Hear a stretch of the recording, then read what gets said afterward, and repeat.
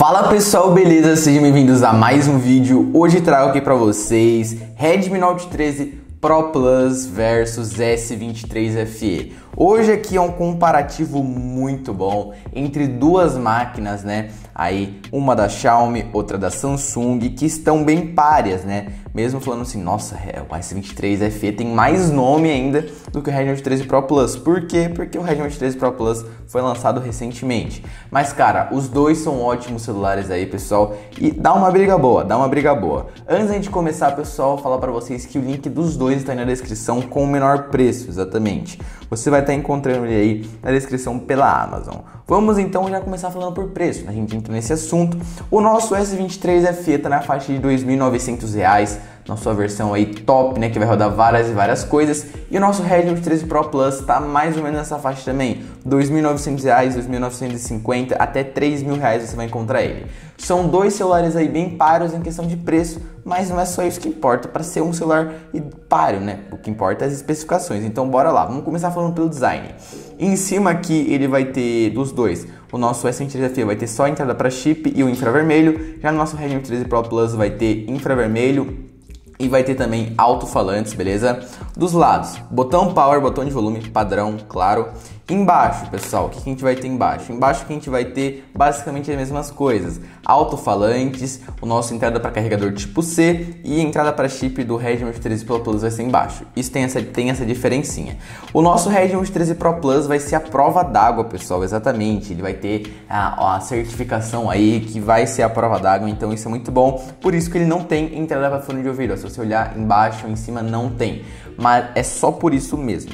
Enfim, realmente, de design, eu acho o design do S23 FE bem simples, né? Você confunde ele com qualquer outro Samsung, por exemplo, até o A34, o A54, qualquer celular você confunde com ele. Já o nosso Redmi 13 Pro Plus a gente não confunde, né? Porque ele tem essa traseira aqui com várias várias cores, ó, um roxo, daí tem um meio que um azul, um verde, um azul água, é um azul, sei lá, azul marinho, não sei. Eu não entendo muito dessas cores, mas cara, lindo, lindo, lindo. Eu vou de Redmi 13 Pro Plus no design, mas isso aí é questão de gosto. O que a gente quer saber mesmo é as especificações dele. Bora lá começar comparando a bateria. Bom, a bateria dos dois são ótimas baterias para o dia inteiro. Porém, pessoal, a bateria do nosso S23 FE é de apenas 4.500 mAh, exatamente 4.500.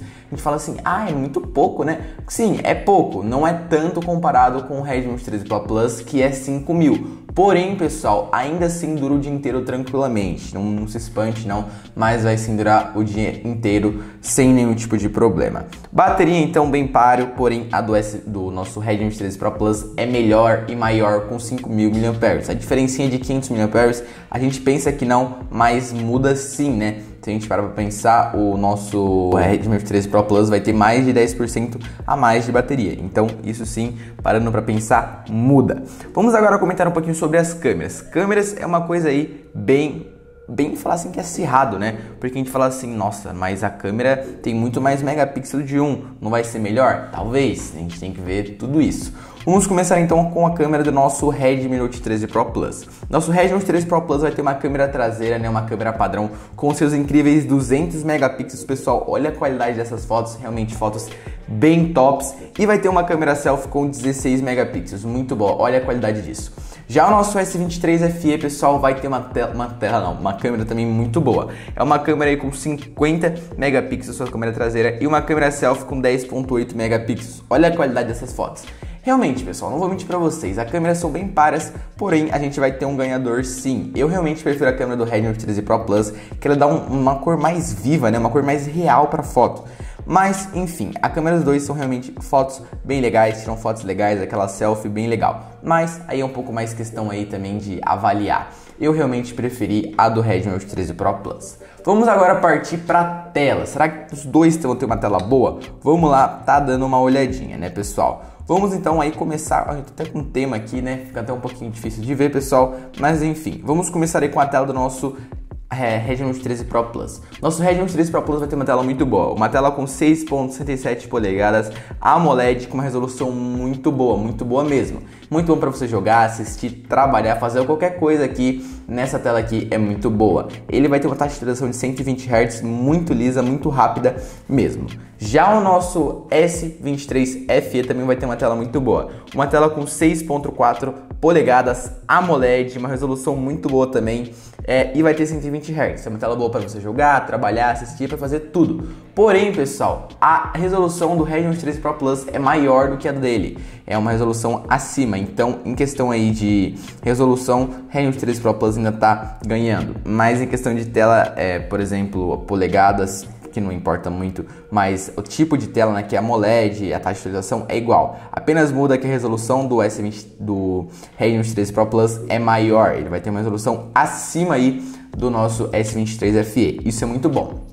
Mas tá bom, a gente já falou de já falamos sobre tela, bateria, câmera, design, preço e tudo isso está sendo bem páreo até agora. Falta de falar sobre o processador. Será que o nosso S23FE vai dar uma reviravolta agora e vai ser muito melhor? Vamos lá descobrir. Bom, pessoal, para falar de processador, eu sempre gosto de testar em um jogo. E o jogo escolhido dessa vez foi o Asphalt 9. E cara, não vou mentir para vocês, está muito boa a qualidade e o desempenho, mano, realmente surpreende aqui com o S23 FE, muito bom mesmo, rodou numa qualidade altíssima. Tá dando alguns travamentinhos, mas eu imagino que é por causa que a gente tá entrando agora, né, no jogo, ó. Vamos tá aumentando um pouquinho o brilho para ficar melhor para vocês verem, né, pessoal?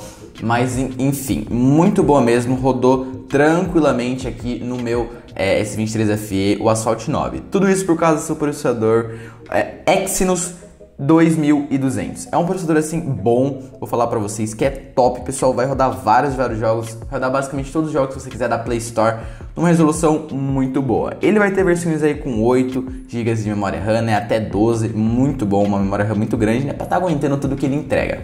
Ele vai fazer os seus incríveis 1 milhão e 20 mil pontos no do benchmark. Realmente é uma pontuação muito alta, muito, muito grande mesmo. Também a gente tem que levar em conta que ele custa o mesmo preço do Redmi 13 Pro Plus.